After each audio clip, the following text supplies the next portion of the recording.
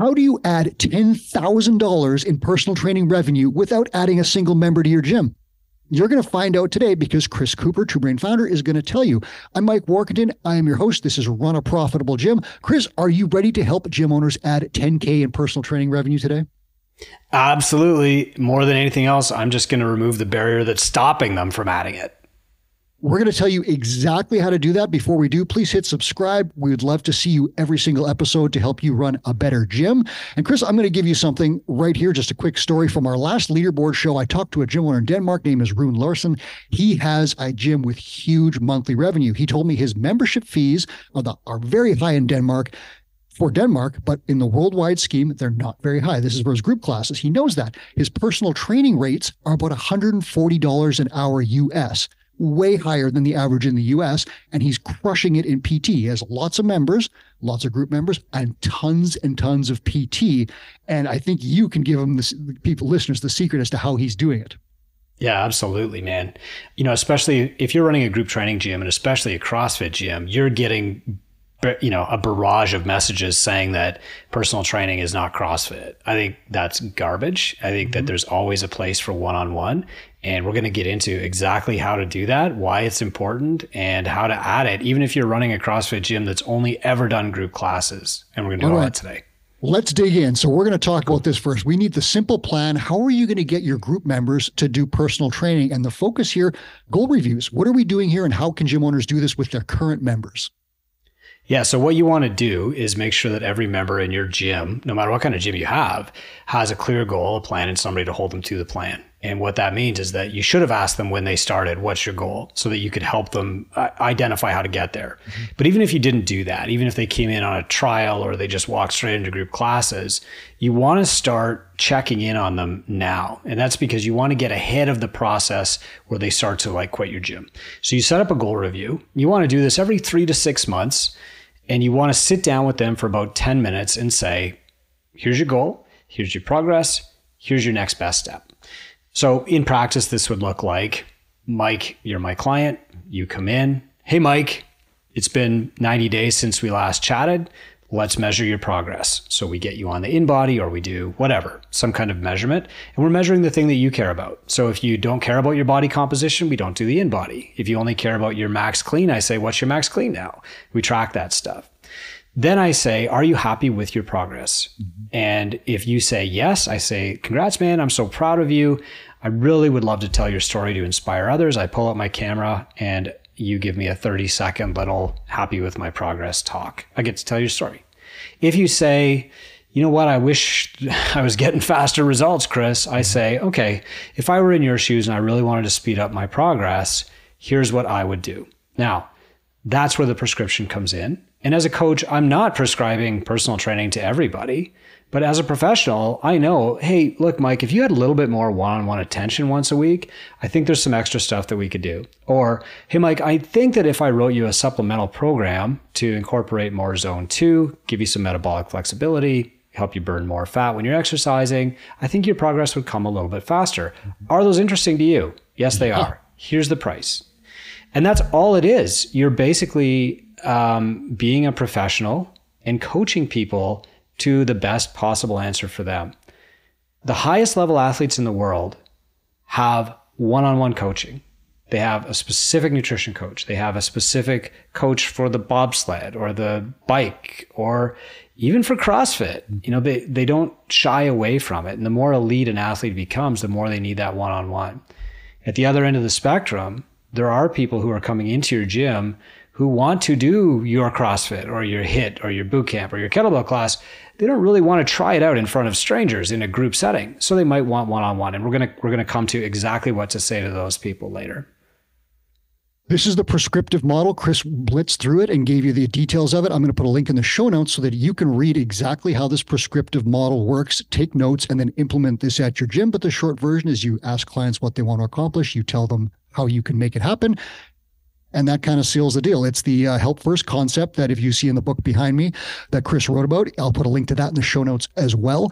The idea here, you're helping clients get what they want and you should be compensated for that. So that's the simple stuff. You can do this with your current clients, Chris, right? Like you, we said at the yeah. beginning, you don't have to get, get, new clients. You obviously can acquire new clients, but this works. Have you seen this in practice and in the mentorships or uh, the gyms that you mentor? Have you seen this work really well when people do this with their current clients?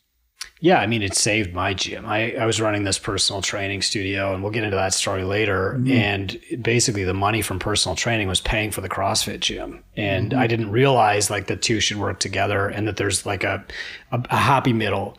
Um, but right now, like the reason that a lot of gym owners don't offer this to their clients is between their ears. Maybe they think like, oh, I couldn't afford this, so they don't want it. Or maybe they think like, well, they should be in the group. That's what's best for them. But what you have to do is just pause for a second and say, in a perfect world where money was not an object, time was not an object, scheduling was not an object, would this person get faster results one on one?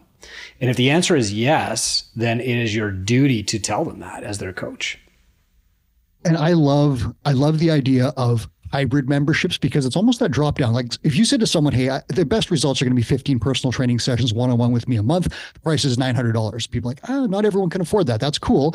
Yep. What if you said to a group training member, you're paying $160 a month, but if you add in one $75 PT session a month, I can give you an hour of focus time that's going to supercharge everything else that you do. Are you interested in that? And a lot of people will say yes. And we've seen this in our gym, uh, the mentorship clients. That changes their average revenue per member from like 160 to like 225 or whatever it is. And that's like life changing revenue and profit for these people. So that hybrid drop down me- membership is a great option. Have you seen that work in our gyms as well? Yeah, many, many. Some uh, now offer it as the only option. When you sign up at their gym, there's a group training option and one-on-one, and mm-hmm. and you have to uh, have one-on-one if you're signing up for a group training option. You know, the way that we frame it at my gym is basically like we want you to get to your goal as fast as possible. The fastest possible way is like the direct and focused attention of a coach one on one. The um, the the budget option is to do it in a group class, which will still get you there. We have our CrossFit groups are extremely effective.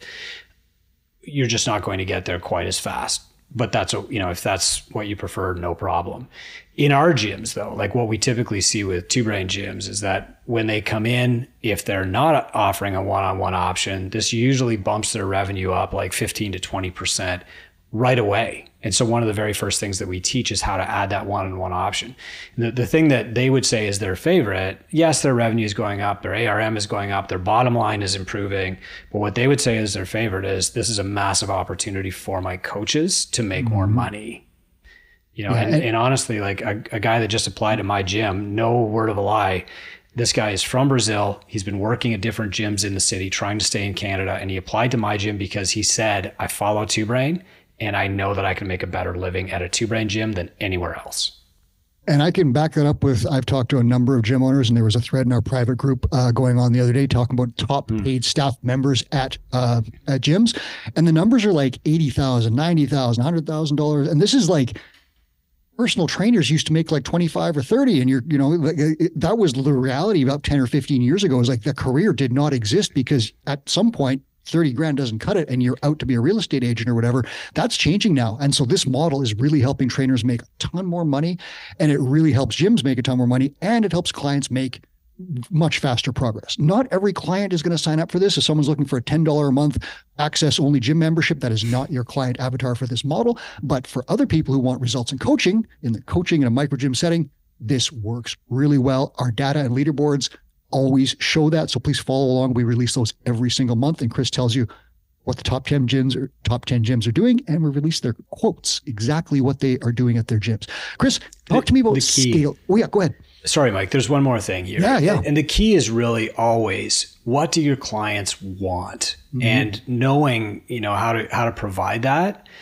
And what you'll find is that when you start asking the question that I'm going to share with you in a couple of moments, you'll find that 10 to 15% of the people who walk through your door are attracted to your method. They want to do your kettlebell, your bar, your Pilates, your CrossFit. They don't want to do it in a group. And if you don't offer a one on one option for them, you're basically excluding them. Mm-hmm. There you go.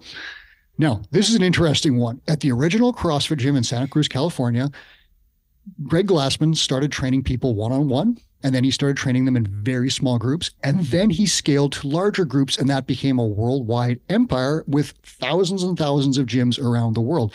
But the interesting part about that is that people often think scaling PT now goes from personal training one on one, giant groups with tons of people and lots of revenue. But there's a missing step, and nobody saw it for a very long time. What is it? It's small group training as we define it now, or semi private, you might Which call Greg it. did.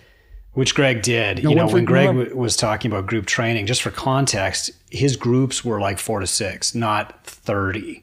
And you can hear him talking about this in the early articles on the journal.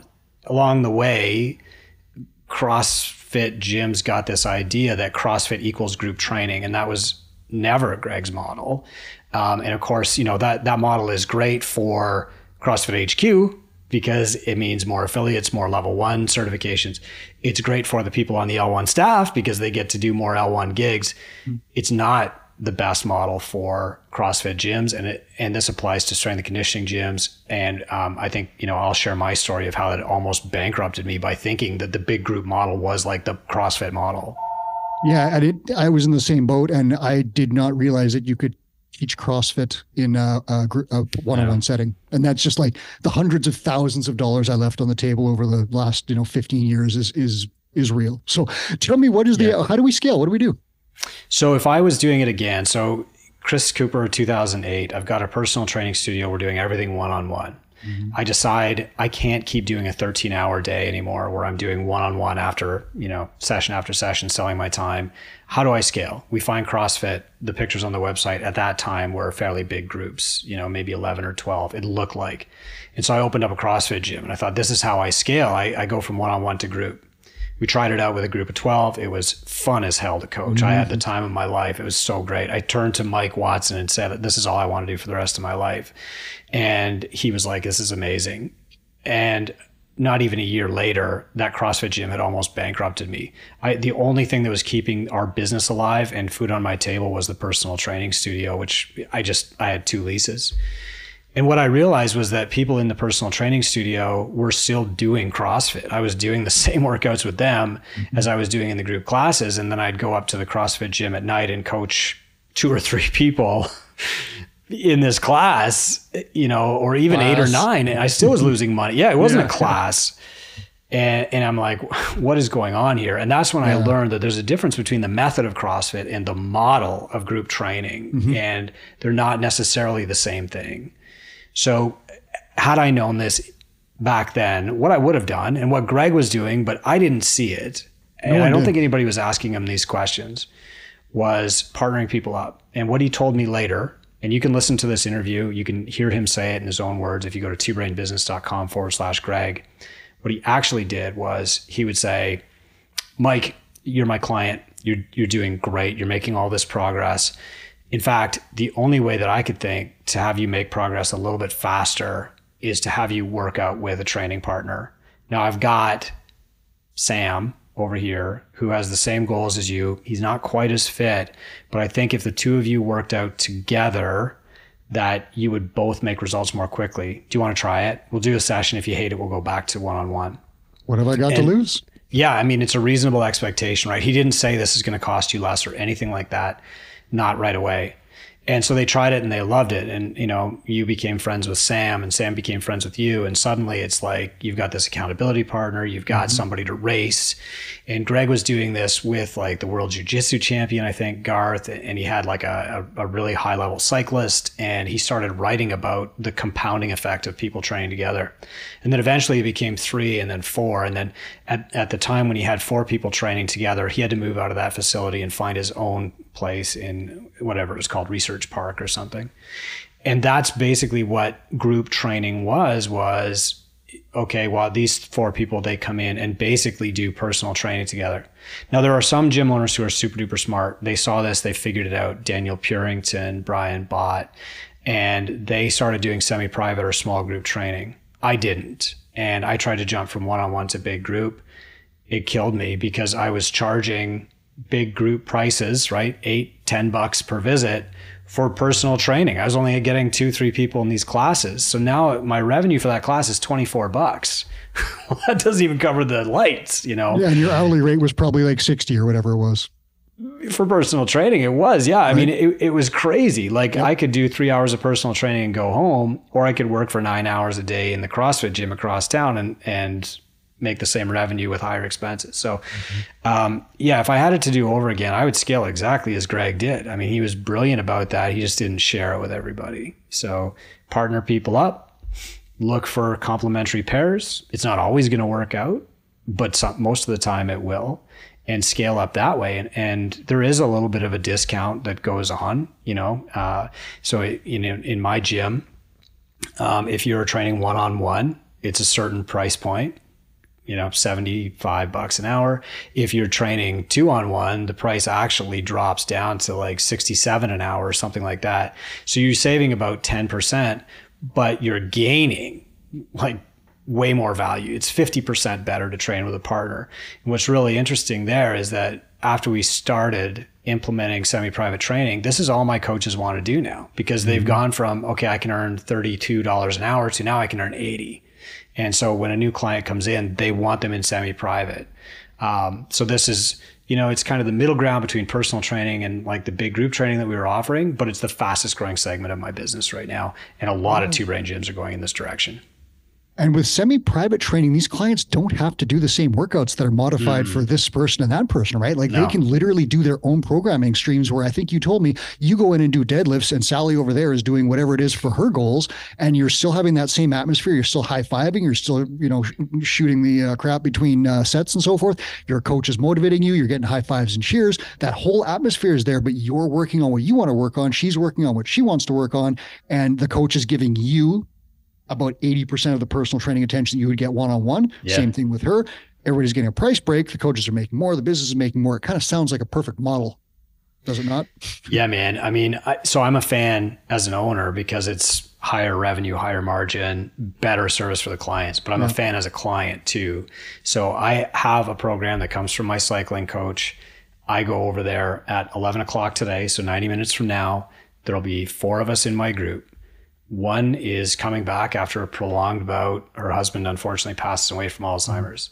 One uh, just had a baby and she's getting back into it. One has like five kids and she needs the schedule, right? So um, I know them. They know me. I don't have to talk about the weather with the coach because she is carrying on four conversations at a time.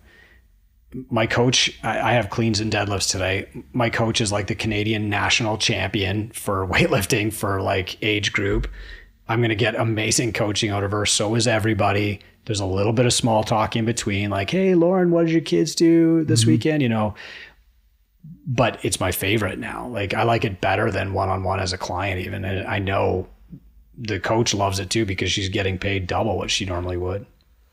I hate it as a trainer, and I would have hated as a client doing a 500 meter warm up row with someone counting my meters. Oh, yeah. A coach like, okay, you're almost there. We're almost ready to do some dynamic stretching. I'm like, just leave me alone. I'll finish the row and we'll get back when I need some coaching on muscle ups, right? So that I get what you're saying. There are some major benefits because sometimes you don't want to hover over someone the no. entire time as a trainer.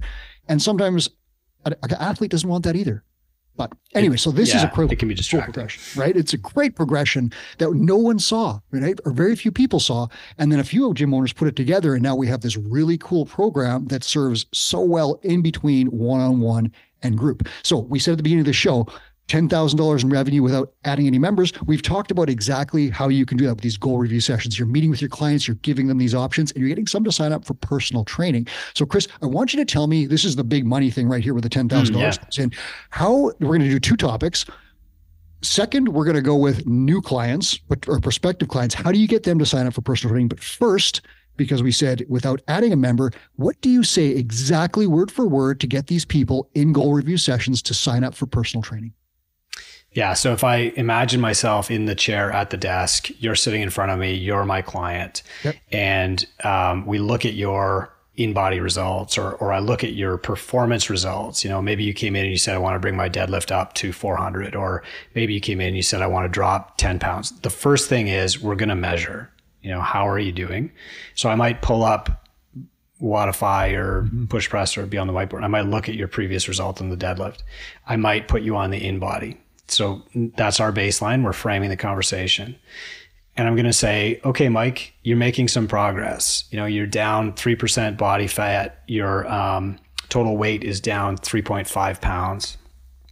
Are you completely satisfied with your progress? And if you say, oh boy, I'd really like to speed it up, I'd say, great. In your shoes, I would want to speed it up too.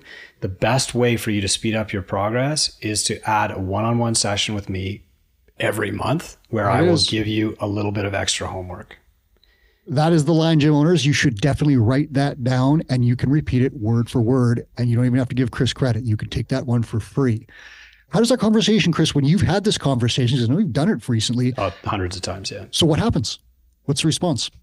One of two things. They'll say, okay, how much does that cost? And I'll say, it's an extra 70. I can just add it to your membership and we can start next Monday and they'll say like sounds great. I'm in. Sometimes they'll say i'm gonna great i'll try it for three months. Wonderful. Let's go. Because i know it's gonna get them better results. Mm-hmm. the other option is they say okay how much is it? And i say it's another 70 on your membership. And they say i can't afford it. And i say no problem. Keep doing what you're doing. You're going to get there. We'll meet again in 90 days and measure your progress again. That's it. And i have talked to gym owners on our leaderboard that when they do that, and the one gym owner was very clever about this. He started doing this stuff with newer clients, goal review sessions with new clients, because it's harder to change behavior with existing clients. So he started it with is, new clients. Yeah. And then when all of his old clients are like, ah, goal reviews, I don't need them. When they started seeing the results that the new clients were getting, they were all like banging on his door and saying, Hey, can I do a goal review session? He said, Yes, you can. And he sold them more stuff that they wanted and saw value in, and he made way more money like it happens like that. So t- yeah, that's a great the, way to segue. Oh, go go ahead. The, no, the actual numbers. I'm just looking at our averages now mm-hmm. across Two Brain. About 30% of people who do goal reviews wind up upgrading their service to increase the speed of results, and they upgrade by about 30%. So all told, what that means is that if you do a goal review process on your gym, you can increase your revenue by about 9% up like top line, which is it would be very hard for me to find another way to increase your top line revenue by 9% without adding any more members. If you try right now, set a goal, gym owners, 10 goal review sessions with current clients, do that in the next week, push yourself to do it. About three of them on average should sign up for additional stuff, and they might sign up for about 30% more stuff. Try that, yep. track it. If you're struggling with it and your numbers aren't good, you're doing something wrong. Repeat the exact line that Chris said. Yeah and then start tracking it and keep going. But this has been proven to work. This is not stuff Chris is making up. This is data from hundreds and hundreds of gyms around the world who are using this process. Now, this is the other one new clients. What would you say to a new client to present personal training? Because I had no idea how to do this. I run group classes. What do you say? I think this is, I came up with this because I'm an introvert, I think. But so basically, we go through our NSI process, which we teach in the mentorship program. It's just, you're just asking questions. You never ever feel like a salesperson because I would never have wanted to. And so you, you ask them their goals, you measure their starting point, you make your prescription. And your prescription might be three workouts a week, it might be four or whatever. And then you say, would you be more comfortable doing those workouts in a small group setting or one on one with me? There it is.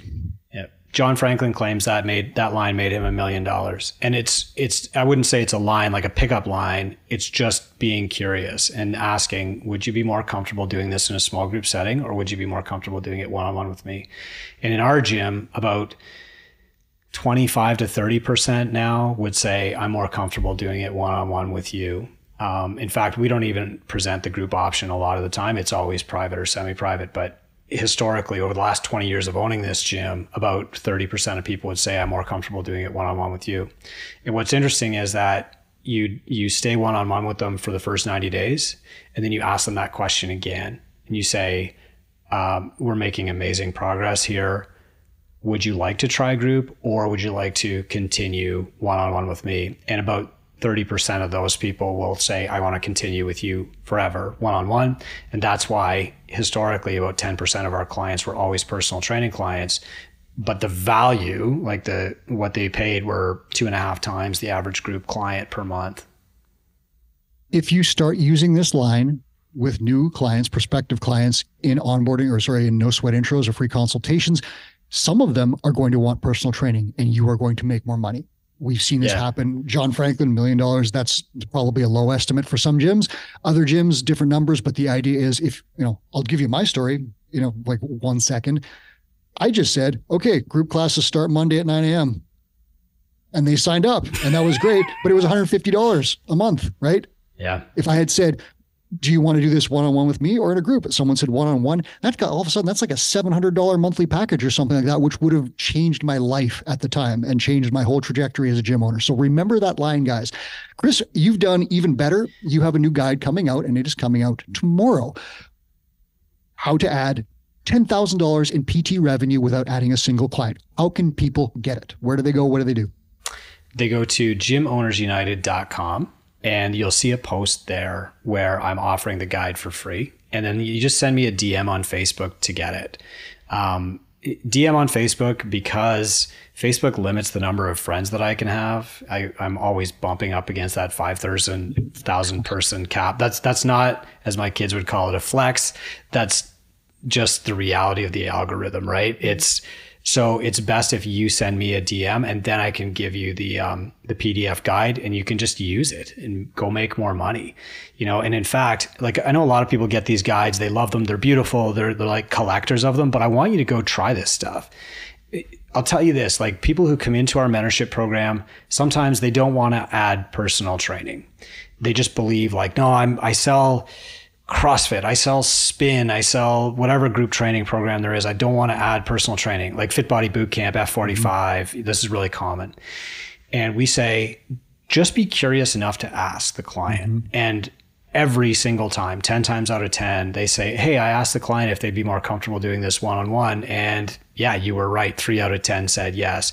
And they suddenly realize that they've been shoving 30% of their audience away, people who wanted to sign up but didn't want to try it or like barf in front of a group like mm-hmm. we all did with CrossFit, right? Right. Um, so yeah. That's where you're going to get that guide. And if you want to go even further, Two Brain clients actually get all these resources and more with plug yeah. and play like scripts, role playing with a mentor, practicing, coaching, standard operating procedures, marketing materials, the whole deal. It's all just pushed in front of you and your mentor will say use this now use this now use this now and use this next. It's step by step coaching. And the mentor will also come back and say did you do that thing? Did you say that line that chris said in your last no sweat intro or free consultation? Goal plan accountability to hold you to the plan. That's where the clients can go even further. So if you want to add speed mentorship is the answer there. Chris are you ready tomorrow morning for a flood of dms in the gym owners united group I sure am. Yeah, I get tied to my phone uh, every third Tuesday when we do this. But I love it because it feels I, my favorite thing in the world is giving people presents, and I get to feel like we're giving people presents. Just remember that, you know, just as a lot of your clients will want one on one because they're buying speed, getting business coaching is the same thing. When you buy business coaching, you're buying speed, and the more individualized that attention is, the faster you're going to go. And that's why Two Brain is a one on one mentorship practice.